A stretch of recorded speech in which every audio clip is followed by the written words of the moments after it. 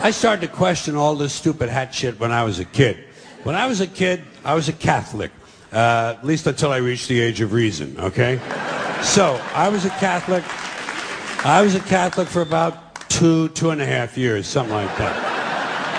And during that time, one of the things they told us was that if a boy or a man went into a church, he had to remove his hat in order to honor the presence of God. But they had already told me that God was everywhere. So I used to wonder, well, if God is everywhere, why would you even own a hat? Why not show your respect? Don't even buy a fucking hat. And just to confuse things further, they told the women exactly the opposite. Catholic women and girls had to cover their heads when they went into church. Uh, same as in certain temples, Jewish men have to cover their, their heads in those temples. In those same temples, Jewish women not allowed to cover their heads. So try to figure this shit out. Catholic men and Jewish women, no hats. Catholic, Catholic women and Jewish men, hats. Somebody's got the whole thing totally fucking backwards, don't you think? And what is this religious fascination with headgear? Every religion's got a different fucking hat. Did you ever notice that? The Hindus have a turban, the Sikhs have a tall white turban, Jews have a yarmulke, the Muslims have the keffiyeh, the bishop has a pointy hat on one day and a round hat on another day, cardinal has a red hat, pope has a... Everybody's got a fucking hat. One group takes them off, the other group puts them on. Personally, I would never want to be a member of any group where you either have to wear a hat or you can't wear a hat. I think.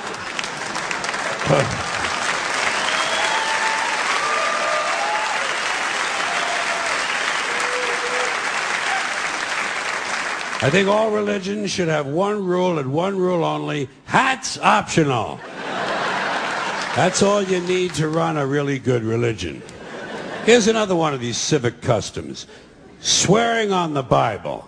You understand that shit? They tell you to raise your right hand, place your left hand on the Bible. Does this stuff really matter? Which hand? Does God really give a fuck about details like this? Suppose you put your right hand in the Bible, you raise your left hand. Would that count? Or would God say, sorry, wrong hand, try again? And what, why does one hand have to be raised? What is the magic in this gesture? This seems like some sort of a primitive voodoo mojo shtick. Why not put your left hand on the Bible, let your right hand hang down by your side? It's more natural. Or put it in your pocket. Remember what your mother used to say? Don't put your hands in your pockets. Does she know something we don't know? Is this hand shit really important? Well, let's get back to the Bible, America's favorite national theatrical prop. Suppose the Bible they hand you to swear on is upside down, or backward, or both and you swear to tell the truth on an upside down backward Bible. Would that count? Suppose the Bible they hand you is an old Bible and half the pages are missing. Suppose all they have is a Chinese Bible in an American court or a Braille Bible and you're not blind.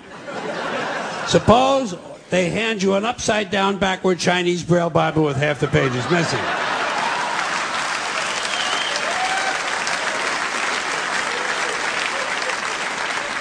At what point does all of this stuff just break down and become just a lot of stupid shit that somebody made up? They fucking made it up, folks. It's make-believe. It's make-believe. Now, all right. Okay. Let's leave the Bible aside. We'll get back to the science fiction reading later.